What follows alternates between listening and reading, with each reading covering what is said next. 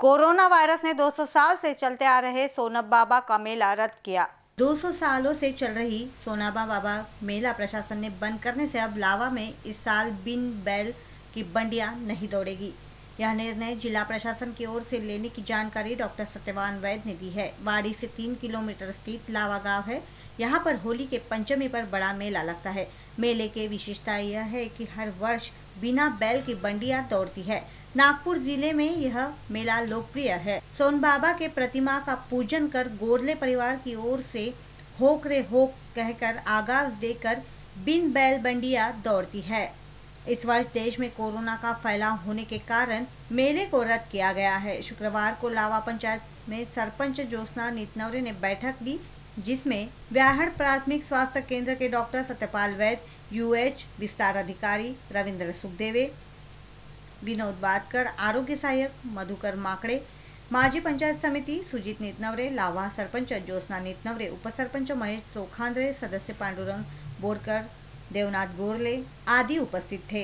Corona virus से डरना नहीं, लेकिन जो आदेश प्रशासन ने दिए हैं, उसे निभाएँगे। भाविक भक्तों को व दुकानदारों को विनती है कि इस वर्ष मेले का आयोजन नहीं होगा। मेले में नहीं आने का आह्वान पूर्व सभापति सुजीत नितनवरे ने किया है। लावा गावामध्ये एक यात्रा भरत असते आणि ह्या हजारो जनसंख्या इथे जमा होत परंतु आपल्या देशामध्येही चीनसारखीच परिस्थिती निर्माण होऊ नये. हा व्हायरसचा प्रादुर्भाव आपल्या देशामध्येही झालेला आहे. तरी मी आपल्या सर्वांना विनंती करू इच्छितो की जिथे गर्दी करणं किंवा यात्रेचं स्वरूप असणं हे आपल्याला टाळायला पाहिजे.